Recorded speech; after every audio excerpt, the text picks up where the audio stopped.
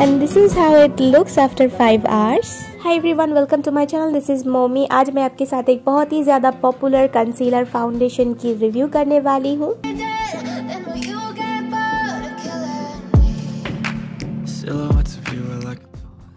ये है inside makeup essentials के कंसीलर फाउंडेशन अगर आपको फाउंडेशन से ज़्यादा कवरेज चाहिए बट फाउंडेशन जैसा फेक लुक नहीं चाहिए स्किन लाइक फिनिश चाहिए तो ये प्रोडक्ट आपके लिए बेस्ट है। वीडियो की इंट्रो से ही आपको पता चल गया है कि इस वीडियो में मैं इनसाइड कंसीलर फाउंडेशन की करेक्ट एप्लीकेशन मेथड इसके ऑल सिक्स शेड्स की स्वचेस और आपकी स्किन टोन एंड अंडरटोन के अकॉर्डिंग कौन सा शेड आपके लिए बेस्ट है, ये सब आपको बताऊँगी। तो इस वीडियो को लास्ट तक देखते रहना और अगर ये वीडियो आपको अच्छा लगे हेल्पफुल लगे देन प्लीज़ चैनल को सब्सक्राइब करें और बेल आइकन को दबाएँ ताकि आपको इस तरह के हेल्पफुल वीडियोज़ के नोटिफिकेशन हमेशा मिलती रहे। तो चलिए इस अमेजिंग प्रोडक्ट की रिव्यू स्टार्ट करते हैं। You don't understand the pain it brings You don't ever wanna give me wings. Insight concealer makeup इस टाइप के कार्डबोर्ड बॉक्स में आता है, जो कि ब्लैक कलर का है। जहाँ पे आपको मेंशन मिलेगा कि ये डर्माटोलॉजिकली टेस्टेड है सो आप कोई भी skin types I mean normal oily dry sensitive किसी पे भी आप इसको अप्लाई कर सकते हैं। कार्डबोर्ड बॉक्स के पीछे आपको इसकी ingredient list manufacturing date and इसका प्राइस क्वांटिटी सब कुछ मिल जाएगा। 20 एम का प्रोडक्ट है जिसके लिए आपको सिर्फ़ पे करना पड़ेगा टू सिक्सटी रुपीज़ और ये कंसीलर फाउंडेशन आपको इस टाइप के प्लास्टिक ट्यूब में मिलेगा, जिसमें एक सिल्वर कैप लगा हुआ है। इस प्रोडक्ट का शेल्फ लाइफ है two years this is a cruelty free paraben free product तो आप समझ ही गए होंगे कि ये ट्रैवल फ्रेंडली होने के साथ साथ पॉकेट फ्रेंडली भी है। चलते हैं इसकी टेक्सचर और कवरेज की तरफ़। तो टेक्सचर इसकी बहुत ही ज़्यादा स्मूथ एंड सॉफ्ट है। ये बहुत ही ज़्यादा लिक्विड ही नहीं है, इसलिए इसका कवरेज भी बहुत ही अच्छा है। मैं आपको दिखाती हूँ, ये मेरा एक छोटा सा स्कार है जो रिसेंटली जल गया था मेरा हाथ। देखिए कितने अच्छे से इसने हाइड कर दिया है ये। प्रॉपर एप्लीकेशन के लिए पहले अपने स्किन को क्लीन कर लीजिए। मैंने यहाँ पे फेस वॉश कर लिया है। अभी मैं मॉइस्चराइज़र अप्लाई कर रही हूँ। अगर आपका स्किन बहुत ज़्यादा ऑयली है तो आप कोई टोनर यूज़ कर सकते हैं। स्किन को अच्छे से मॉइस्चराइज करने के बाद इस कंसीलर फाउंडेशन को अप्लाई करें। आप चाहे तो प्राइमर भी यूज़ कर सकते हैं बट मैंने यूज़ नहीं किया है क्योंकि ये कंसीलर फाउंडेशन ऑलरेडी आपके पोर्स को बहुत अच्छे से ब्लर करता है। देखिए कितना स्मूथ एप्लीकेशन है, इसकी बहुत अच्छे से ये ब्लेंड हो रहा है मेरे स्किन पर।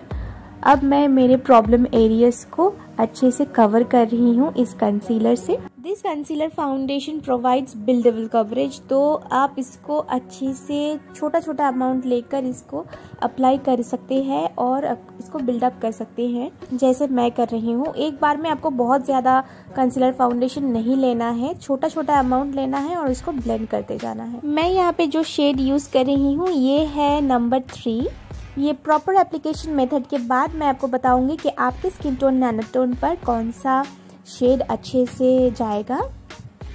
फेस पर इसको अच्छे से अप्लाई करने के बाद मैं आईलिड के ऊपर भी इसको ही अप्लाई करूँगी क्योंकि आज मैं आई बेस के लिए ये कंसीलर फाउंडेशन ही यूज़ कर रही हूँ। एप्लीकेशन प्रोसेस हो गया है कंप्लीट अभी मैं आपको दिखाती हूँ इनसाइड कंसीलर फाउंडेशन कितना फ्लॉलेस लुक देता है। क्लोजअप देखिए।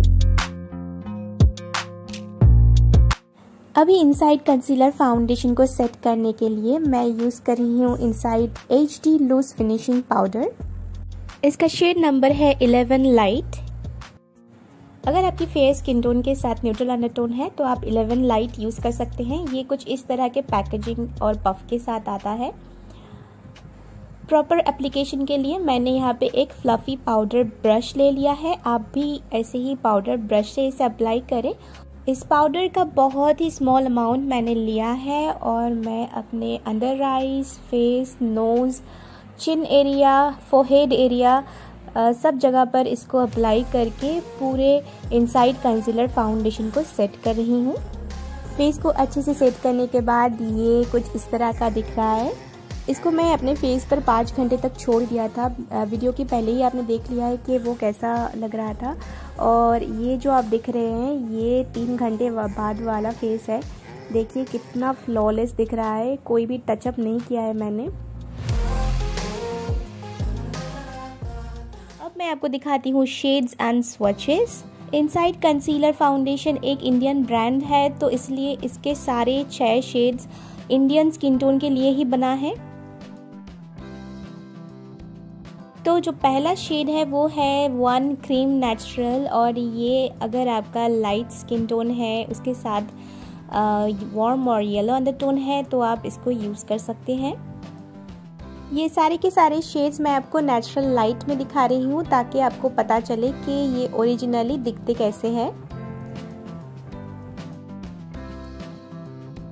तो ये है शेड नंबर वन अब चलते हैं शेड नंबर टू की तरफ़। ये है शेड नंबर टू जिसका नाम है सॉफ्ट हनी अगर आपकी लाइट टू मीडियम स्किन के साथ पिंक अंडरटोन है तो आप यूज़ करें number two soft honey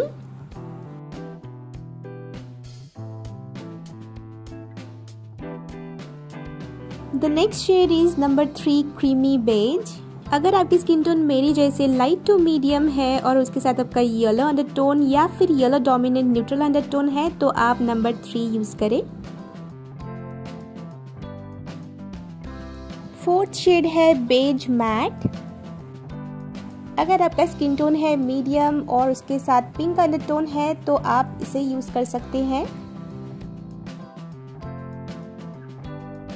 fifth shade है गोल्डन फेयर। अगर आपका स्किन टोन है मीडियम डार्क और उसके साथ आपका येलो अंडरटोन है तो आप इस शेड को यूज़ कर सकते हैं। अगर आपको आपके अंडरटोन के बारे में कुछ नहीं पता है तो आप आई बटन में दिए गए हुए वीडियो को देख सकते हैं। वहाँ से आपको आपका अंडरटोन पता चल जाएगा। नंबर सिक्स शेड है वार्म बेज अगर आपका स्किन टोन है डार्क और उसके साथ आपका येलो और वार्म अंडर टोन है तो आप इस शेड को यूज़ कर सकते हैं। तो ये थे इनसाइड कंसीलर फाउंडेशन के सिक्स शेड्स अब मैं आपको दिखाती हूँ मेरा final look I try to be human, find a solution, my evolution. A place like this, it didn't exist, we made it like this. तो ये है इसका एट आवर्स बाद का इफ़ेक्ट तो देखिए आपको दो प्रोडक्ट यूज़ करने की कोई ज़रूरत नहीं है। एक फाउंडेशन एक कंसीलर आप एक ही प्रोडक्ट यूज़ करके इतना अच्छा लुक अचीव कर सकते हैं। So I will definitely recommend you to try this at least once अगर आपने ऑलरेडी इसको ट्राई कर लिया है तो मुझे कमेंट सेक्शन में ज़रूर बताएँ कि आपको इनसाइड कंसीलर फाउंडेशन कैसा लगा। आप रेगुलरली इसको ऑफ़िस या फिर कॉलेज टाइम पे यूज़ कर सकते हैं। सो आई होप ये वीडियो आपको बहुत अच्छा लगा है। Please do comment like and share आज के लिए बस इतना ही। Thanks for watching the whole video goodbye